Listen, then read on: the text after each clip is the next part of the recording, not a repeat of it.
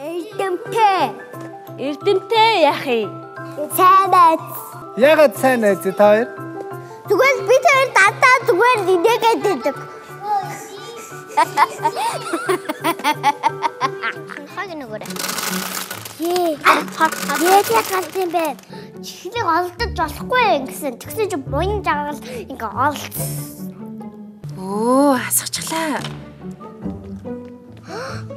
Хөө би чамаа багт хэллээ.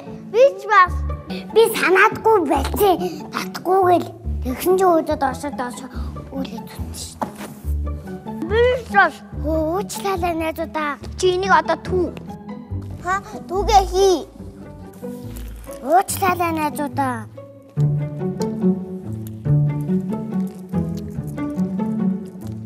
Тэ ганцхан удаа уучлаа. Атгтан чинь бид нар бас жоохон идэх юм аа.